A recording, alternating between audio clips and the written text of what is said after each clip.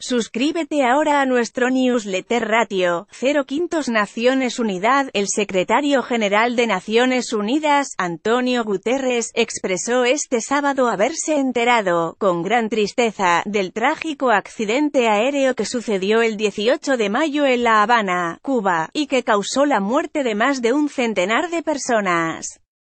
En un comunicado emitido por su oficina, Guterres transmitió sus más sentidas condolencias a las familias de las víctimas, así como al pueblo y al gobierno de Cuba en este difícil momento de duelo nacional. El percance, considerado como el peor desastre aéreo del país en décadas, sucedió luego de que un avión Boeing 737 se estrellara cerca del principal aeropuerto de Cuba. El avión, que tenía casi 40 años, transportaba a 105 pasajeros y 6 tripulantes. Tres mujeres sobrevivieron al accidente, aunque se encuentran en estado crítico. Las autoridades cubanas han iniciado una investigación y declararon dos días de duelo nacional.